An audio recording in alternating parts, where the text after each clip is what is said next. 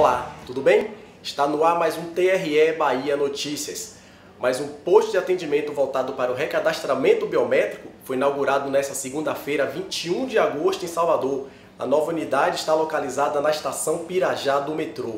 A solenidade contou com as presenças do presidente do TRE Bahia, José Edivaldo Rocha Rotondano, do governador do estado, Rui Costa, além de representantes da CCR Bahia, deputados, vereadores e membros da Corte Eleitoral Baiana.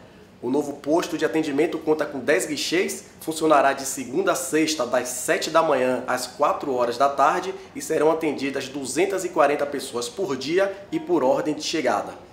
Com a inauguração do posto de atendimento na estação Pirajá do metrô, os eleitores de Salvador passam a contar com 21 opções para a realização do recadastramento biométrico. Assumi o no dia 27 de março deste ano. Três dias depois, a primeira pessoa que eu procurei foi o excelência governador Rui Costa, pedindo apoio para que pudéssemos levar avante o procedimento do recadastramento dos eleitores baianos através da biometria.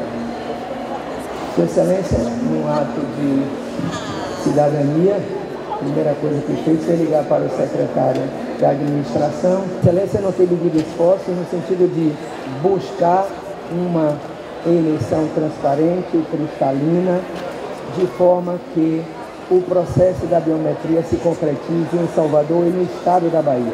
É um prazer estar aqui mais uma vez. Quero agradecer a Deus a oportunidade que Ele nos dá de estar aqui nessa manhã fazendo esse ato de afirmação da democracia.